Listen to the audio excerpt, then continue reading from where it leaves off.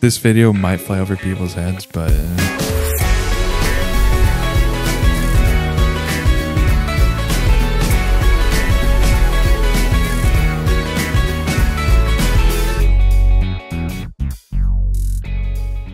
City Skylines 2 just got its gameplay trailer, and let me tell you something.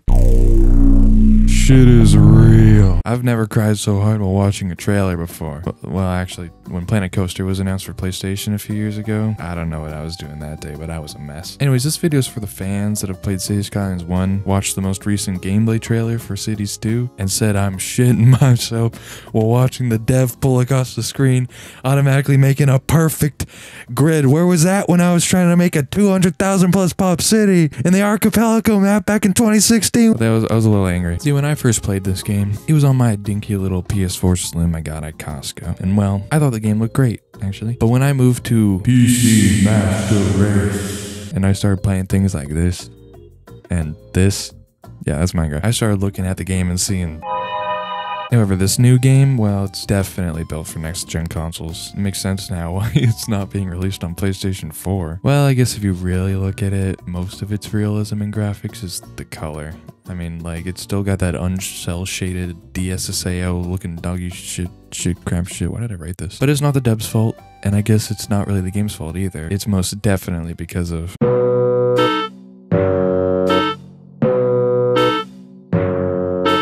Unity at the time probably seemed like the right choice for the game, but nowadays Unreal Engine is the bomb. And while the new game's feature film was made in Unreal Engine 5, you can tell this because this asset from the feature film was found to be the exact match as this asset in the uh, Unreal Engine 5 store. But the game is not made in Unreal Engine 5, sadly. I don't think Colossal Order even knows what that is or how to use it.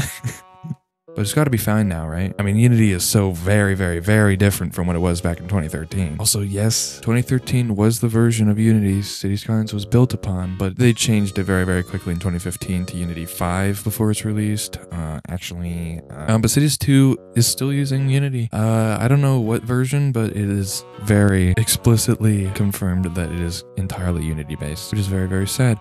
Because if you're a player of City Skylines 1, you'd know that the game runs like it's actual shit. I mean, come on. As in, if I had to say how far into the game you'd get before the FPS gets so unplayable that you have to give up and be forced to stop, it's probably like 5% of everything that you can do inside the game, especially with a few DLCs and mods if you're playing on PC. But Unity, especially that old version of it, was simply not made for what Cities is trying to do. City Skylines is just a cluster frick of assets and CPU related tasks. Anyways, in the end, I think the game engine is not going to be an issue when the game actually comes out. And I know this because the recommended system requirements on Steam, which just got released, says that it needs a 20 80 Ti.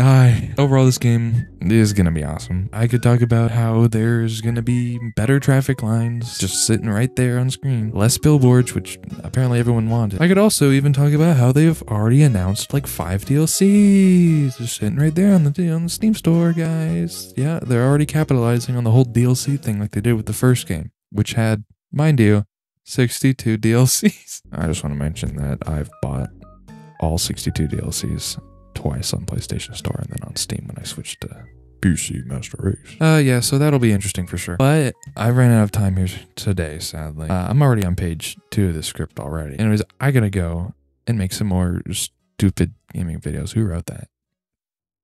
Oh, and please subscribe. I definitely wrote that. That was that's 100% me. I am a sellout, and nothing can change that. What does that word even mean? Uh,